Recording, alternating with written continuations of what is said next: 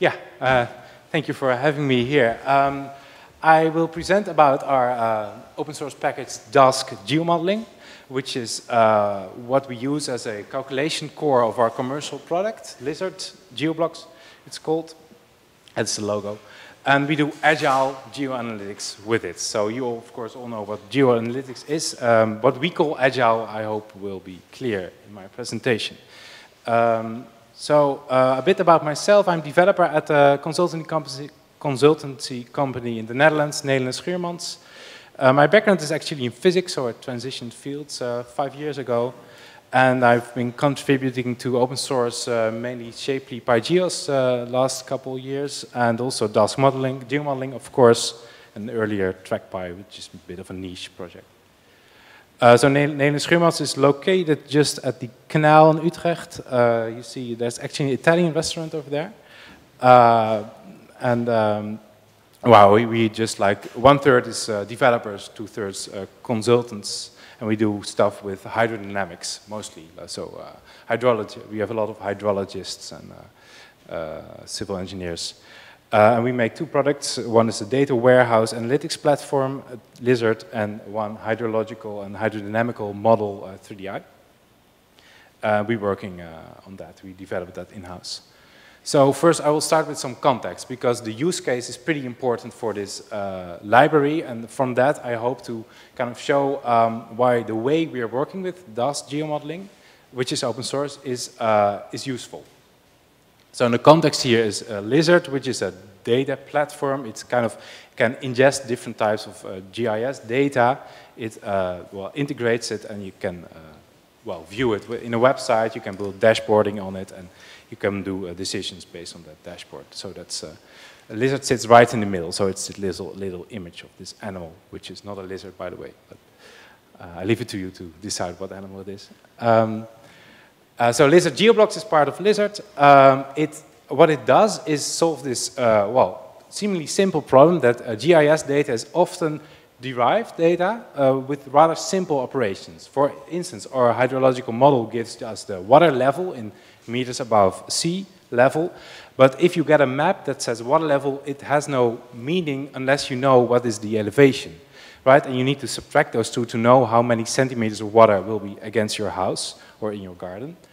Um, or on the roads. Uh, so this subtraction uh, is something that GeoBlocks does for you. So it's uh, basically a post-processing action on the data.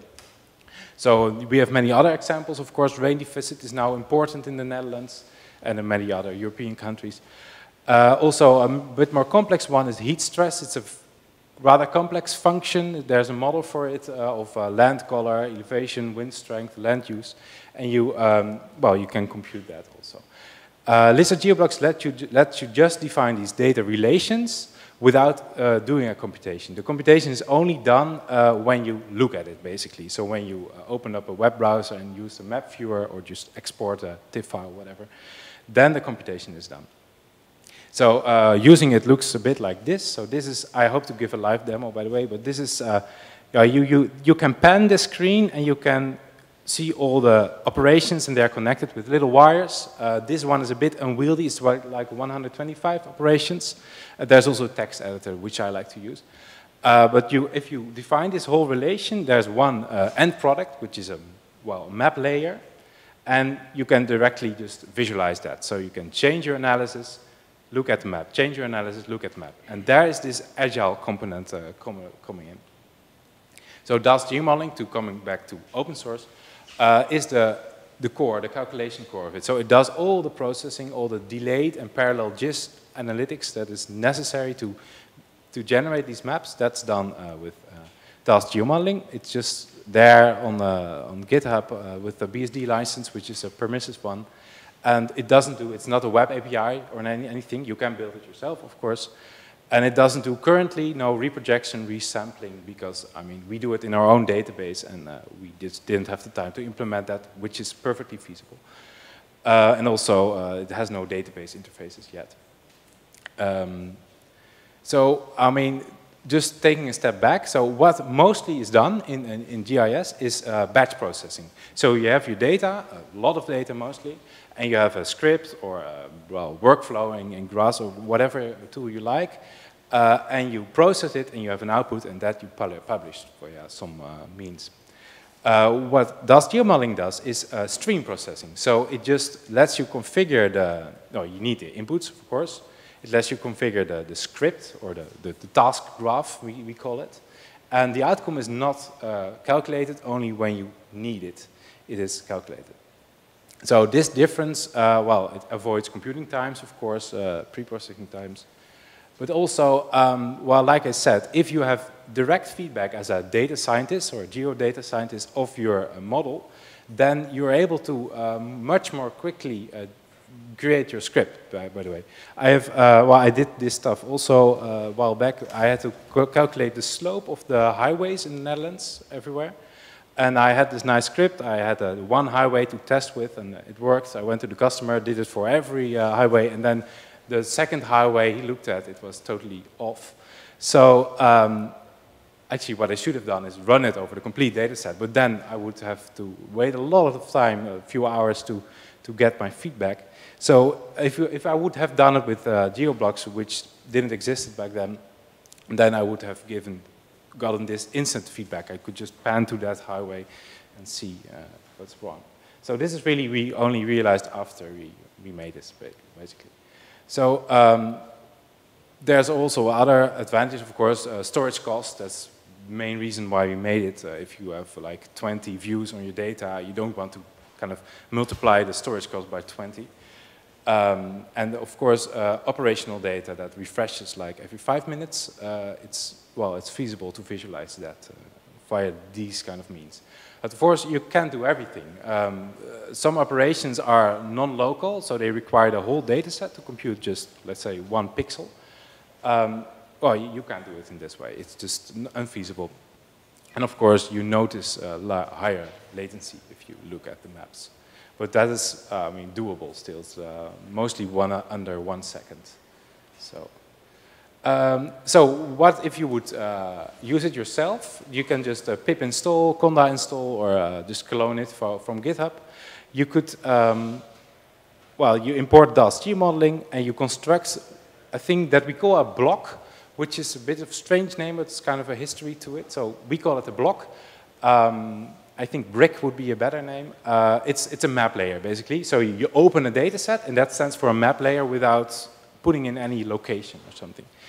Uh, one example I always like to give is just add the number two, and that's it. And nothing has been done. Only this, uh, this expression, this uh, uh, directed acyclic graph is, uh, well, generated in the background, and only when you query data from it, then you get a, uh, well, a NumPy array, in this case, a buffer, which you could convert to a PNG image to display on the map. And that is also how this works. So this code runs in the web service, basically. Uh, so why Dask, you might be asking. Some user, who is using Dask, uh, if I ask? Some people, so that's great.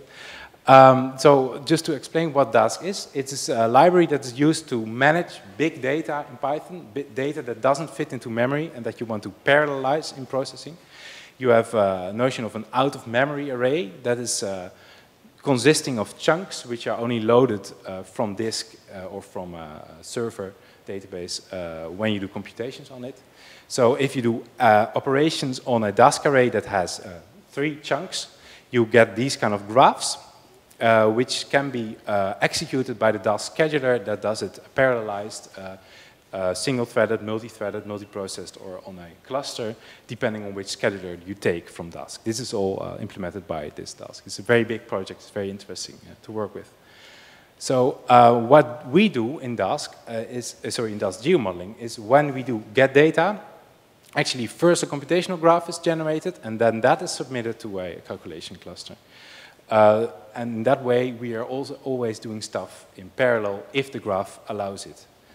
Uh, so just to example, um, there's this function that you would normally not use is get compute graph. It's an internal function. And it just backpropagates this request, we call it, this, this subsection, through your, um, through your, um, your view, your, your, your, your, your class graph. Uh, it goes backwards uh, through this tree because every uh, block knows what it's need, needing for doing the computation. So for instance, uh, a smooth or a convolve operation would need a bit more data to compute the outcome. Uh, it happens here. And then this gets submitted to Dask, and Dask, I mean, we treat it as a black box, so we, we submit data and we get it back. Um, and through the settings of Dask, we can tune how it uh, operates. And then it, uh, this gets your result, basically. Um, so currently, uh, well, the way this is implemented now is that each operation needs to be uh, needs to have a class in Dask geomodeling. So it's actually a lot of work to make new. Well, it's not a lot of work to make one operation because the classes are very small, but it does take effort. So these are the things we have done because we needed them. But I mean, this is very extensible. You can just subclass this base class in your own package and just uh, make whatever you, uh, you want to do. And how you to do it is in the documentation. Uh, so it's extensible. And uh, we are also still working on this. Um, so to summarize, uh, yeah, uh, I have some application examples at the end, by the way. So to summarize how it works, so first you define this data relation, uh, and this you can just, uh, well, save. You can serialize it to JSON also, just to store it in a database, which is what we do in uh, Lizard. And then at the moment you compute, you just get this JSON or this, uh, this, this data relation back, and you use it for computation. And this way you can do a streaming processing of raster and vector data. Uh, so uh, a few applications that we made with it. Um, one is uh, the, the heat stress map. It's, uh, it's in Dutch, sorry, but I think the, the idea is clear. You have here uh, the Dam Square in Amsterdam. It's a central square. Here's the station in, up north. And this is Dam Palace. I don't know if the pointer no, doesn't work. Um, so the idea here is that uh, the municipality wants to know what happens if they plant trees or they change the, the, the, the, the concrete to grass or something. And uh, you can just draw these edits and then uh, hit OK, and then you can directly see what is the effect on heat stress there. It's, an, it's a nonlinear effect, so it, it doesn't uh, add up. Uh, so you really need to do this whole computation, which involves uh, all steps. And you can just, with this slider, you can just see before and after planting the trees. So this just shows this uh, power of this on-the-fly calculation uh, with Dask geomodeling. Another one is uh, Blue Label. It's an entirely different example uh, with, with, which uses vectors, basically. Uh, so what, what well, uh, the city of Rotterdam wanted is um, for e each building they wanted to put a label on it how risky it is for, for flood. For, for if it, there's a peak rainfall, then they want to know what is the risk of flooding. So you have all these scenarios with uh, where the water is. And uh, so based on the, the outcome of the hydrological model, you can, uh, well, assign a certain, uh, take the maximum basically of the water level around the building and assign a label to it, and which is also done with geoblocks here. Um, so this shows that it also works with uh, vector data. So uh, yeah, in the future, uh, so this library is, uh, I think we, we published it like three years ago, and well, we did some work on it after that, but then we're just maintaining it now, uh, because we, I mean, for us it works. Uh, but still, I think there is some uh, promise here, um, because I think these kind of problems pop up in many other systems, these streaming analytics. Uh, so what I would like to do is get it more closer to Dask, or maybe Dask GeoPandas, um, which is a new uh, effort to, to do parallelized processing of uh, geometry uh, data sets. And also, we've been looking into uh, looking with HPX, which is a C library for well these kind of parallel processing things.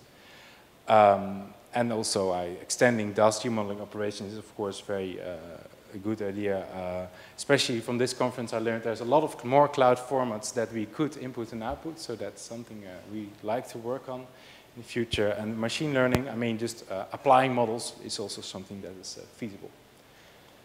Uh, so, I mean, I think I'm a bit early, so if you have questions, uh, I'd like to take them. Uh, if you need some more information about Dask geomodeling or the commercial version, here are the URLs and of course uh, the other project that did is built on uh, GDAL and Friends and uh, Python wrappers. And, uh, scientific libraries also uh, acknowledged. Uh, and well, if you have any questions, please ask them now or contact me afterwards. Thank you.